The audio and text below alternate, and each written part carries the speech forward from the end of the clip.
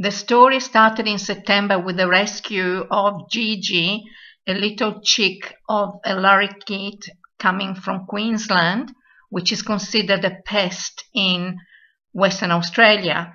And he came on my shoulder all the way in the car to my place and he was bleeding because an attacking crow was trying to finish him off after taking his tail out.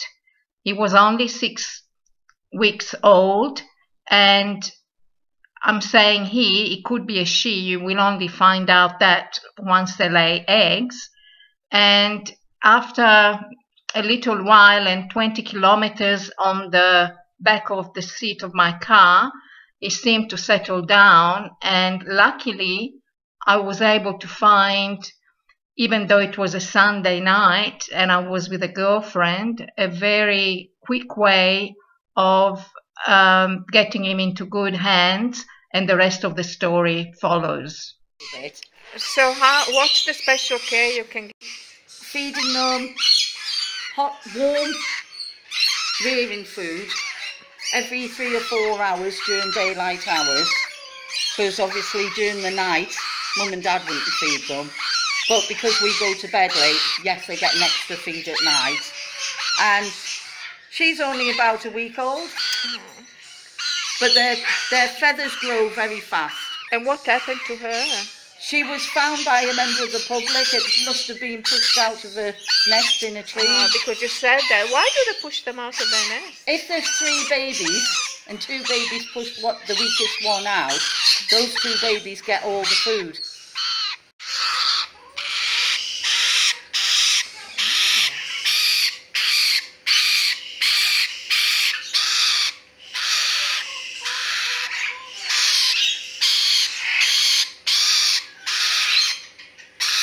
Okay, so this So is the oldest baby that I just showed you, mm-hmm. I've he's old enough to be weaned now, so I'm giving him pureed pear. Mm-hmm.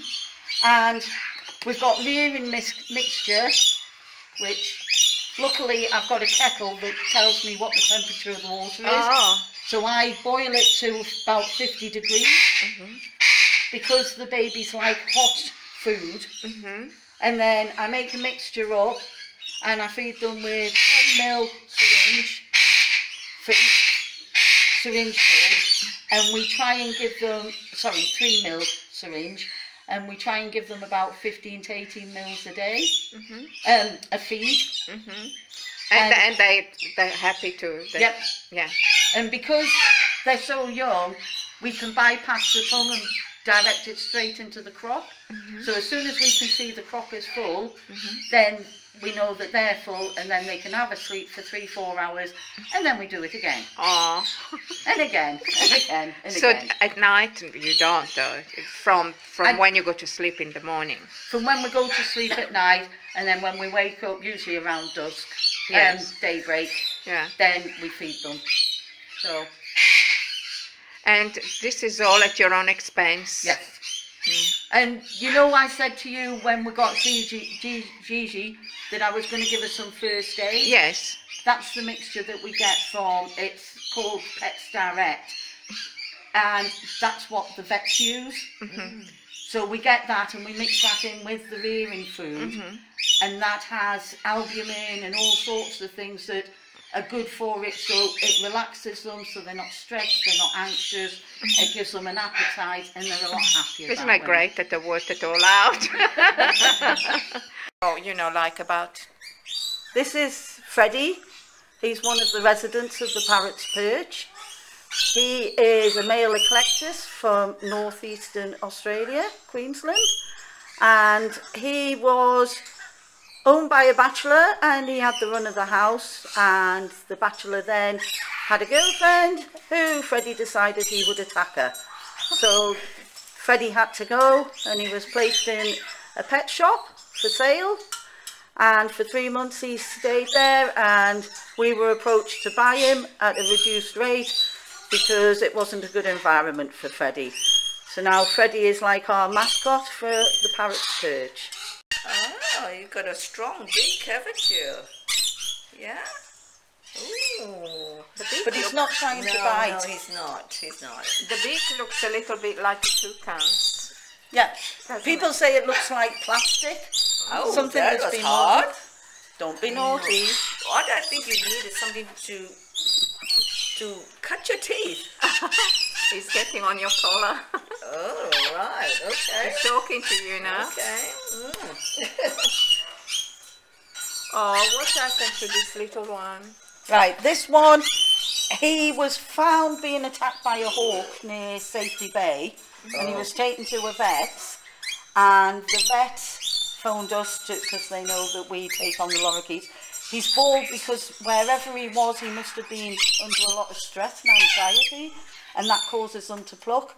And in parts of him, he's plucked so much it will never grow back. And it's not uh, self-flagellation like sometimes they do. Yeah, they, it's Yeah. through anxiety and stress when they're not happy. Yeah, But he's a cheeky boy. yeah. And isn't that nice that he's so placid and happy on your shoulder?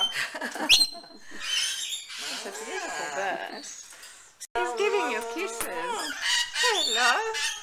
He's giving you hmm. kisses. Hmm. Hello. Hey. And we want to see Gigi as well. And Oh, you know why Gigi? Because it's both a female and a male name. Look good. As long as you look as good as the bird. No, but don't. That will come. from uh, a lady who cares for the elderly, and his owner got put into aged care, and she couldn't Oh. take the birds with her. So we got them. Unfortunately, his partner had the PBFD beak and feather disease that some of them carry. Ah. So she died of the illness, but because he was with her, there's a good chance he could carry it. Mm. So he's left on his own there, and then we put this little boy in with him. And when you take this, when Brian takes this one out, he cuddles into Brian and he goes, sorry, sorry. And it's like, Brian said, quick, come here. And it's he's sitting there going, sorry. And it's like, oh. Hello. So it's sorry, all you can say. Hey, I wonder why. Hey. But what we've noticed in a lot of breeds is it's the males that talk, not the females. Oh, really? Yes. That's unusual, isn't it? Ah, the revenge of nature. Are you dancing, you happy boy? you're happy. Hey, you're happy. Hello. Hey, hello. Don't you do that. What is he doing? He just flapped his wings at him as if to say, stop it. Oh, he's jealous. Yep. How old would they be? They're ranging between nine months and a year old. And they come them- out sometimes, or No, these ones don't because they they're more wild. You put that, some of them are getting used to coming forward, but because they were a lot older when we took them on, and also, if I remember correctly, a lot of what you do is by intuition, isn't it? yeah, Because you only started about a year and a half ago. Yeah. Yes. So it's amazing how much you've learned. Oh, yeah. Hard to see even with this. But they've got such beautiful plumage. oh, they are gorgeous. And here they've got so many things that they can hang on from and play around There's with. somebody sitting in the top of the tri- triple house Yeah. on the top floor. better view. but a lot of them seem to have pairs. Yes. The, her owner has the fibromyalgia, Oh yes. and this is Mojo. Mojo. He's another. Mean, And they made a couple, did they? they turned into a couple. Um, his people or surrendered. Yeah. His people surrendered him because they took him to the vet to get his wings clipped. And he was so traumatized by it, he attacked the whole family. Oh. And for two weeks, he tried to win them back over. Uh, they tried to win him back over, and he wouldn't be part of it. So she said, "Will you take him?" And then Leah came, uh, Leah came with the one eye, and we just threw them together, and they paired up. This is Henley and Coops. Coops was in an old old gentleman's house who'd never cleaned his bird cage for years, and happy. he hardly got out of bed to feed himself, let alone the bird. And he got up with Henley, up with Henley, and they're the two that got out and been sat in the tree Oh, waiting for right. us. They were the ones. In the other aviary, we had a, one fly out as I walked in to feed them. Next day, he's sitting on the top. He wanted back in. He'd had enough of the big, big one as So do you have any any more flying out at the moment that No. come back? No. Um, hello, darling. Where are you? Hello. Hello. I love the plumage with a speck of blue purple that they have and There's one on the back this Now she's got a slight, slightly different blue. She's sitting on that round dish on the back wall. She's got a different for three months because um, a relative was dying who Oh. has now passed. So this is the female lorikeet, and this is called a superb parrot. superb. Superb parrot, and his name is Charlie. Are they nice and friendly? Charlie makes out that he's a big rough person, but then when you put your hand in, he runs away. Ah. But Laurie likes giving kisses. Oh. Oh. oh. And Mummy said I had to make sure Laurie kept kissing me so that she didn't forget. So when Mum comes home, Mum will get kisses. Didn't she? Mm. Mm. Oh, is he the only one that kisses you in the mouth? There's a few that'll give you a kiss. Come on. Oh, good girl. She had a clip wing and um, she's molten at the moment. She's learnt to talk since she's been here. Oh, really? Listening to the other birds. Oh, really? What kinds of things do they say? Um, what is it you do say? You say, what?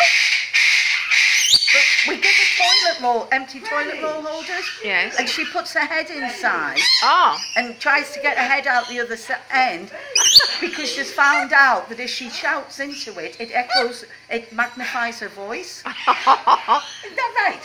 Oh, so she's really testing the sounds and everything. Yeah. How old would she be? She is just, she's over, she's about a year old now. Come on.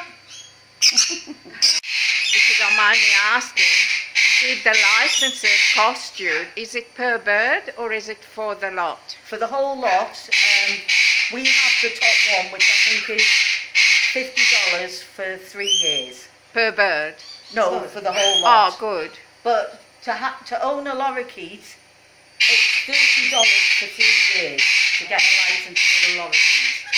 And are you, you said that you're not subsidized. No. If somebody seeing this, and I can't promise anything because I don't even know who would watch, but Yeah. if I put it online and people see you, who can they contact and how can they contact you to make donations? They can contact me at the Parrots Perch. We've got a website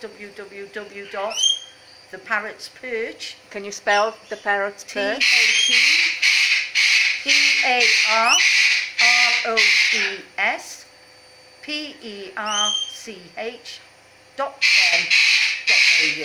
Excellent. And if they wanted to call you and ring you, can they call you? They can call me on 0414 092 902. I really hope that you will have, because I, I think a lot of us would like to do something similar, but we don't have the patience, we don't have the time, we don't have the knowledge, we don't have the means. Would you like to say a little bit about how you got started into this? Because it's very interesting from what I remember. Yeah.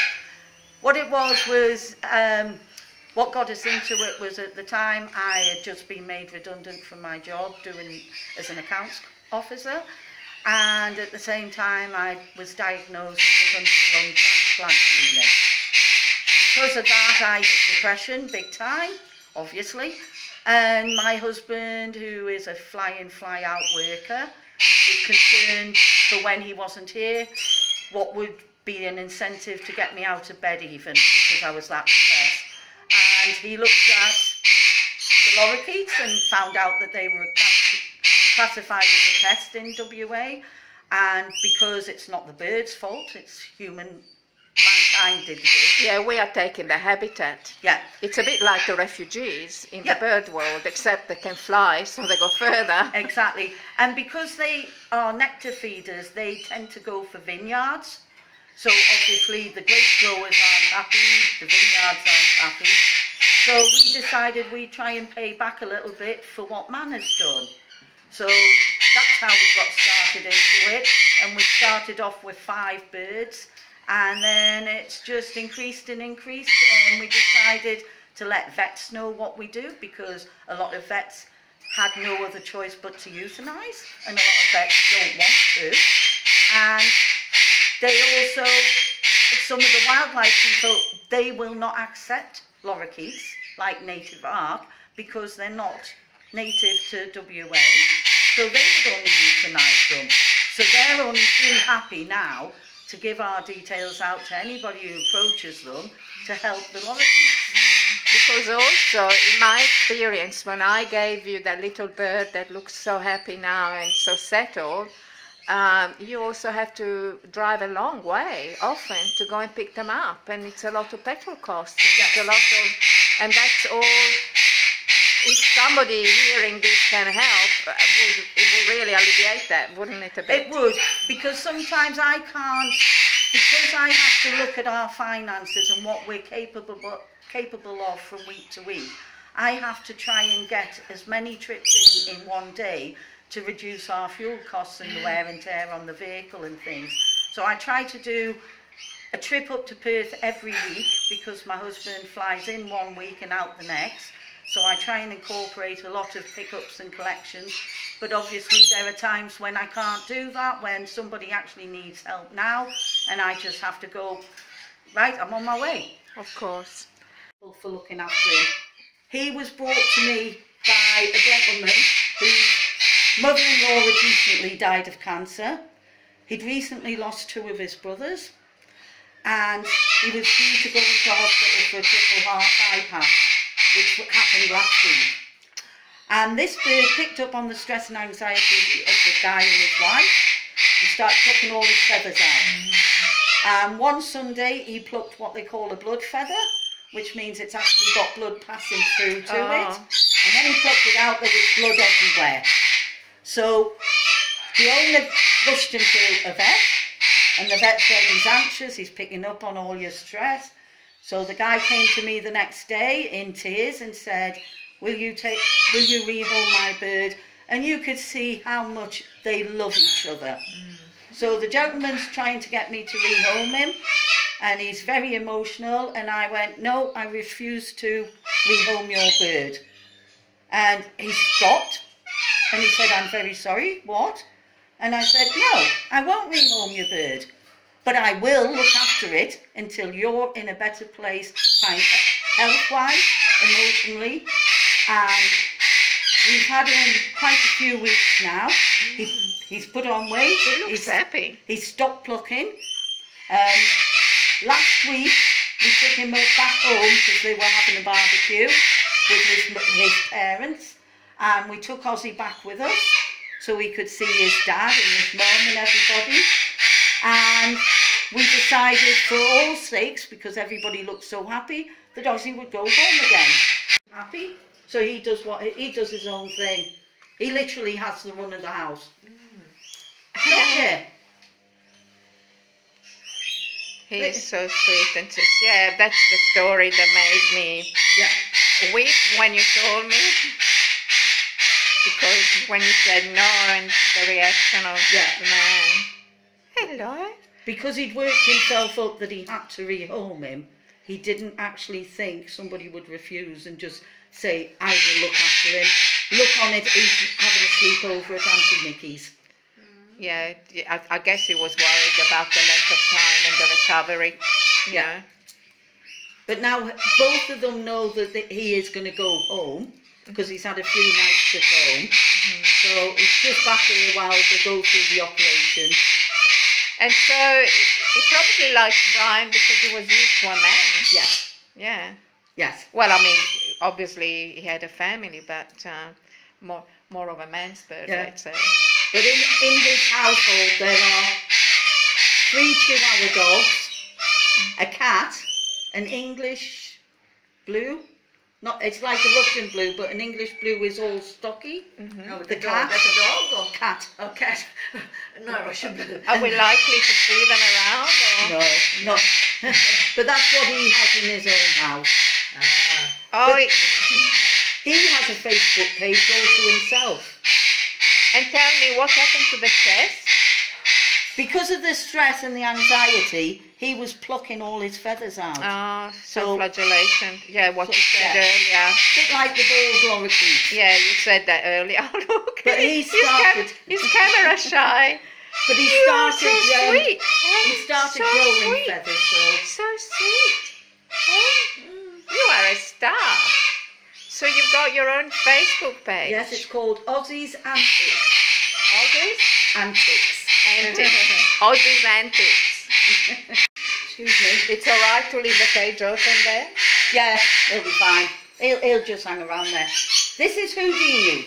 Who? Houdini. Houdini. I called him Houdini because he was found in Madora Bay. He came here and then he proceeded to escape from his cage. Oh. So I call him Houdini. He was rehomed about a month or two back with two lorikeets.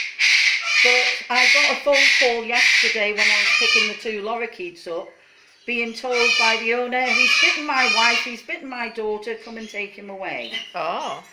So Houdini says, What's the boy to do? What are you doing? What's the boy to do? What? What's the boy to do? Are you going to talk? Oh, he had a little chirp. What are you doing? What's a boy to do? What are you doing? What are you doing? We have a lot of lorikeets that are found and nobody claims them. Yes. So then we have to look after them. But uh, does, how did they catch them? Because Well- there was babies also, were they? Yes, or the one at the back has had a broken wing and he was on sale in a pet shop. Oh. So um, a customer complained, so they gave it the bird to a customer. She gave it to her friend who was going to try and rehabilitate him and release him. And then she found out that he had a broken wing that had never been repaired. So then she contacted us and said, "Can you take him on?" So I went up to um, Leederville and got him. Oh, which ones you can let free and which ones in, inside, obviously. Yeah. Um, the ones that I know, I can catch easy enough. but I don't know if you've noticed, the one on the perch is one-legged. She's had her leg removed from the breast. Oh. So we call her Eileen. Oh. And this is Dexy. After the group Dexy's Midnight Runners, who sang Oh, yes. Come on Eileen. because she has to lean, because she's got one leg. So, But both of these were found in Armadale. mhm, She was found hopping down the road, mhm. so somebody caught her and took her to a carer. A couple of days later, he was found. So the carer put them into the same cage and and, asked, to get on. and asked for us to go and pick them up. When we got him home, we put grapes in, and he picked the grape up and took it to her and held it for her because he knew she only had one leg and she couldn't hold it. Oh. So it was like they understand disability. Oh. It's, it's, it's awesome. So beautiful. And tell Life flying into here. So What's this? they all know it's a place to be. Hello. Hello. You two are show off. Dala, did you give the name to all these birds or somebody Yes. else had given them or? Well, we call him Goose because he stopped off at this farm, stayed a while, but then started attacking their goose. oh. So because he did that, we call him Goose. Ah. Because I try and call them in association yes, with different yes, things. yes. Yes, fair Unless enough. we're given a, a specific name to call them. Yeah, yeah. And this one here is Falcon because he was found in Falcon. Actually, as soon as you said Falcon, he turned around. So he knows. So Yes. he knows very well. And is he a restless soul or is he a He, he's quite happy. He likes female women with blonde hair. Oh, really? Young. Oh. so they can even tell. Because he got out when we had a wind and it blew the aviary over and all the galahs got out. Houdini stayed in the garden. No, Houdini came into the alfresco. Goose stayed in the garden. Falcon flew off and another female one flew off. He was found two days later up by the school on the estate and he jumped onto a young girl's shoulder who had blonde hair, so I know he likes young girls with blonde hair. And then Billy, the female, flies in every day with other galahs to come and say hello. Oh, she, really? she wants to be free, so she's free. Ah. Oh. But Goose is quite extraordinary for the fact that he says, who's a cheeky boy? And when it gets to dusk, he goes into whisper mode. So instead of talking, he whispers, "Oh, kiss, kiss. Sorry? Hello, gorgeous, kiss a kiss. But he, he literally goes from talking to whispering. So it's very delicate, very delicate. very And very intelligent, highly intelligent. Oh, all birds are. He was found in Mandurah, very dehydrated and starving, and very quiet. So when we got him, we um, rehydrated him, we gave him food, and after a few days, he started talking. And he came out saying, Roger, Roger, Oh, he is the one. what you doing? What are you doing? Roger, what are you doing? Help, help, help! Yeah, he's really been uh, psychologically Abused, definitely. abused. Poor thing. And nobody's come forward for him. Now, he really loves men. And the gentleman who owns Elvis said he might even take him on. Hello, Roger. What you doing, Roger? Hello. He's a good boy. So you do leave him out sometimes, or? Yeah, he doesn't like being out the cage. Oh, really? He goes to Brian, and Brian will hold him tight. Yes. And he says he's shivering like anything.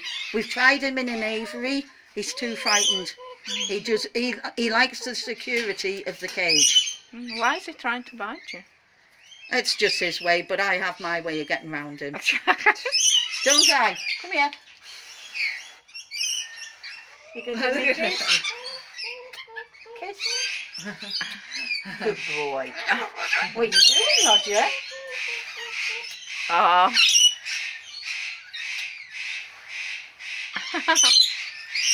You good boy. What are you doing, Roger? Good boy. Out the back.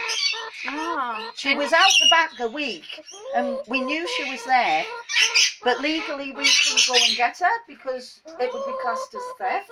Really? So In the what- bush? Yeah. So what we had to do was wait, and then somebody knocked on the door and said, "Is that Chuck yours out the back?" And I went, "No." She said, "Can you go and rescue it because we're frightened the snake's going to get it." And I went, "That's all we needed was somebody to ask us to rescue it, and we can do that ah, legally." Fantastic. And she pays away because she gives us an egg nearly every day. Oh, really? Yeah. She looks very happy. Look, she's doing a nest. Yeah, and she loves Brian again. She sits on Brian's shoulder. She thinks she's a parrot. By a lady who has fibromyalgia. Ah, So she said, would you take him on? And there's also a female lorikeet that came with him who's only got one eye. She's in one of the aviaries. But Clive isn't, isn't that tame. He'll let me pet him. He'll do a happy dance for me. Are you going to do dance? Cocky dance, cocky dance, dance, Oh, dance, look, dance, cocky dance, cocky dance, dance, dance. You're a good boy, aren't you, Clive? Oh, look. Oh, look. You like your award, eh? You like the scratching. Because I noticed they do it to each other. Yeah. So, He's a good boy. He's a good boy. He's a good boy. so how old would Clive be? Clive again, a lot of the time, he's not too young. You, you can tell by the nobbles round the eyes. So he's not young, Hello. but he's not an old old. Hello. He's probably middle Hey, aged. Clive. He could be about 20 years old. How older than us, you know? 80. Really? You Yes. sucky bird, Clive. How you're enjoying it, aren't you? You're Because bird- beautifully soft. Joe hasn't had much experience with birds. Not that I've had much at all either. Ah, But so I, I think it's good because oh look, it is actually lying down. ah, I think you've got a better touch than I. He's enjoying yours better than mine. You, you can't come a bit closer, Clive. Eh? No, no, the bird. My finger can only go that far. You gotta come on, come, come a little closer. And with the mouth, all this lovely little noise he's making. Oh, look, he now he's oh, actually very intelligent. He's actually getting Oh, look at that. all the pleasure. oh, he gives you the other side. That's a good boy, Clive. well, considering you're a bit of a mischief at times, we're really very lucky, aren't we? Definitely. Very lucky. Yeah. I think oh, it's look after at this. Yeah. Are we taking too much of your time? No, beautifully soft feathers. Yep. Dance, cocky dance, cocky dance, dance, dance. Dance, cocky dance, cocky dance. Oh, you little suck. You're putting your head through the bars? He, he, he, he wouldn't be safe coming out, would he? And No. He, and he knows how to lock, Oh, Yeah, he knows how unlock, to get the so attention. that's why you've got the attention. Birds are very clever. You're a smart one. Mm. That's why a lot of cages have this on the top. So if they can undo that, they still can't open it.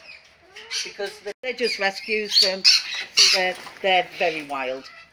So they'll just end up in a in one of the And aviaries. so you've only had them a few days. Yes. Hello, but they seem to get on with each Yeah. other without fighting.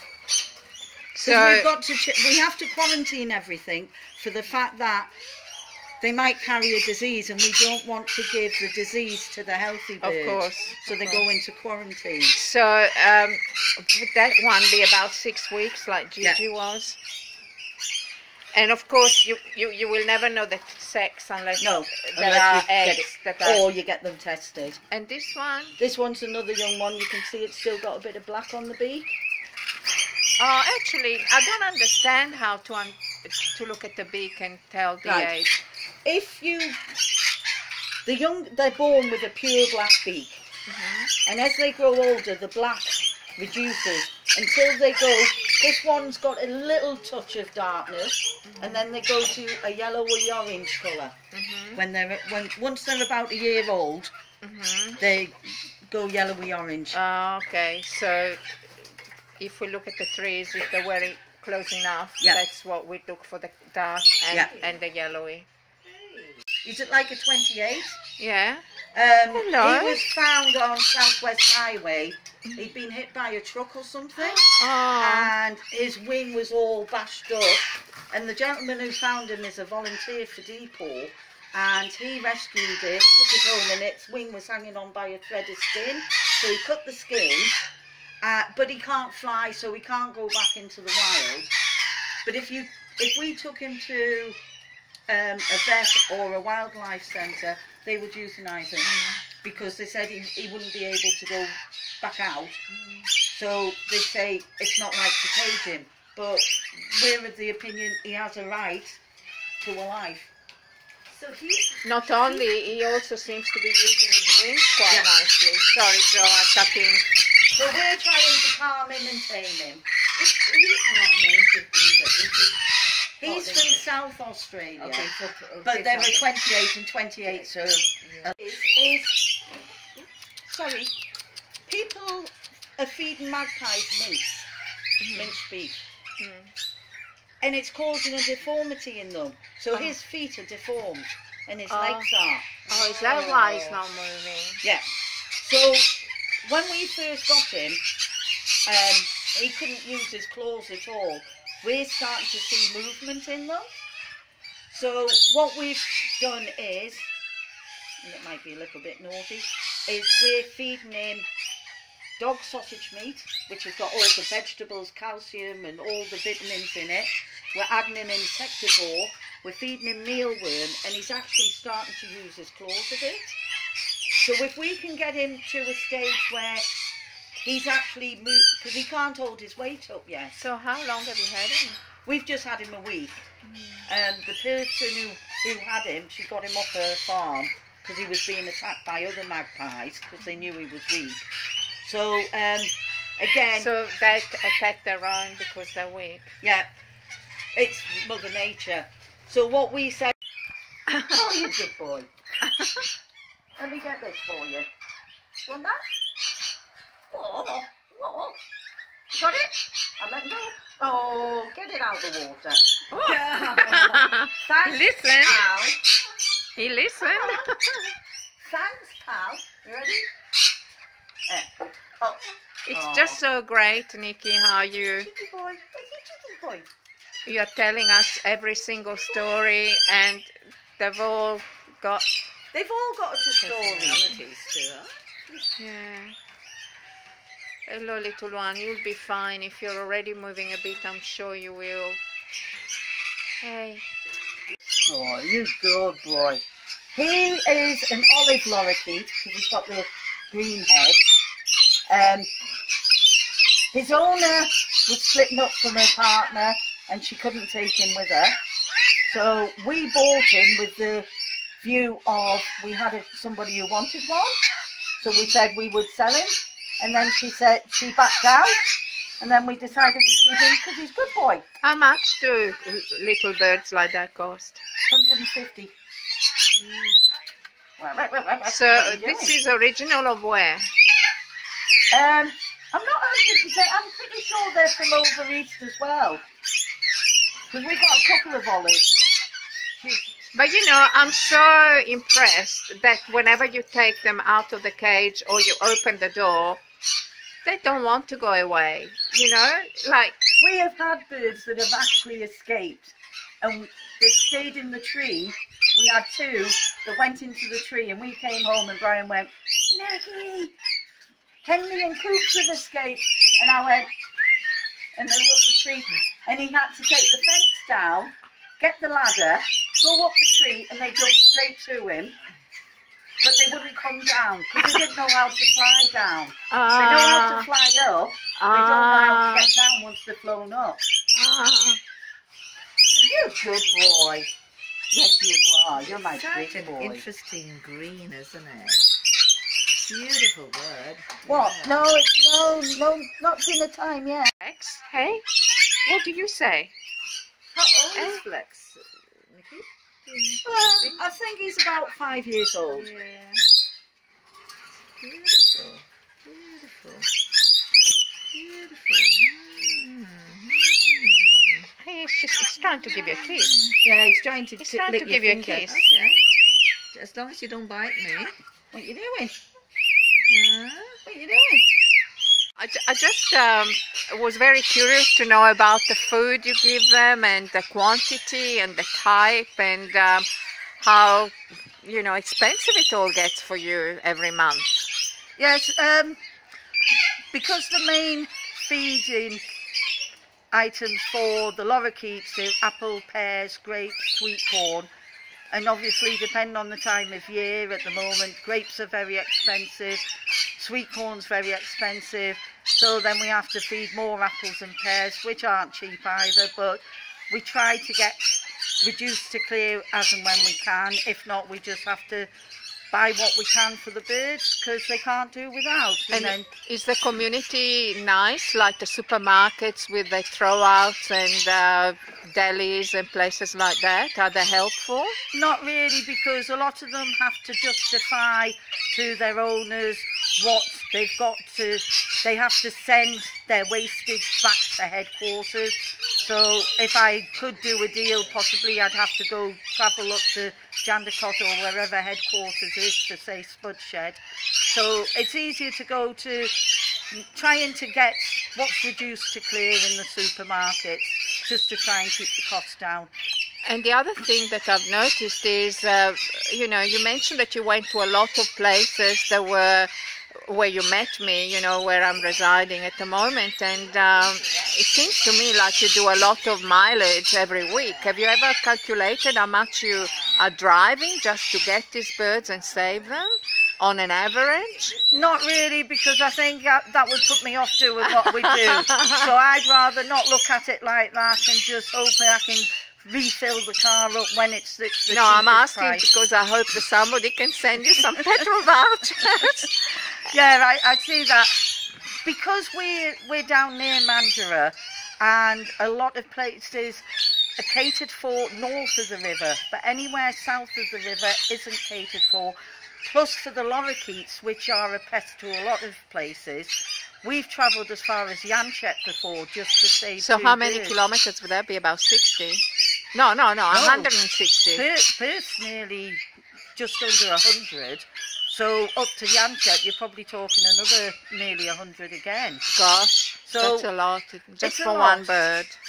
Well, this was for two birds, but at the end of the day, if we didn't do it, what would happen to them? No, I know. So, yes, it turns out expensive sometimes because we've got seed to buy, we've got um, the fruit to buy, the vegetables to buy, and then on top of that, because the lorikeets are nectar feeders, we have to buy dry formula, wet formula, which a seven and a half kilo bag, which only lasts a month, is nearly ninety dollars each. Mm-hmm. So it's I've got my little job that helps pay for some of it, but at the end of the day, we've got to do what we can because the birds can't do it for themselves. Yeah, you, no, no, you've been absolutely wonderful.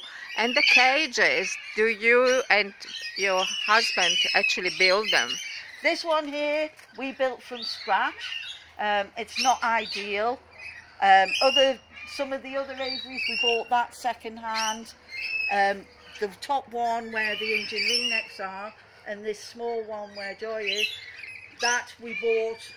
And at the same time, we bought the Indian ringnecks off the, the owners because the husband had Alzheimer's and the wife had medical problems. She couldn't cope, so they did us a good deal because we, they knew what we were doing. Um, we try and get donated cages because obviously we have a limited amount, and then when there's more lost and found birds, we've got to try and house them somehow. Occasionally, when people do the clearing, um, there are cages, that, but they're usually very small, so they wouldn't really suit those birds that fly a lot. Yes. it? So Yeah. what we do is the corellas and the galahs we are trying to rehome because we're finding a lot of people aren't coming forward for their birds. But in the meantime, we'll have more corellas, more galahs coming in that have been found. So we try and look after them to the best that we can. We try, we're trying to get cages donated. As and when we see one going up for free, we'll contact the people and explain who we are, that we're the Parrots Perch and what we do. Mm-hmm. And they seem to be very happy to donate their cage to our mm-hmm. cause. Mm-hmm. You've been so great, and you know my heart goes out to you because I couldn't do it, although I love animals. but um, can you please, again, just in case there is some lovely soul with the means to help you financially, repeat slowly. You don't need to spell it again. The website and also give your phone number, please. Yes, it's www.theparrotsperch.com.au. We're also uh, on Facebook called The Parrots Perch. And my name's Nikki, and my phone number is 0414 092 902. That's wonderful. Thank you so much. Thank you so much, Nikki and Brian, for what you're doing for these gorgeous birds, and so much also for, in particular, picking up Gigi, that I was so worried about and seems to be very, very happy where he is, although he's not featuring in this particular movie. And Joe for taking me all the way there to see them all.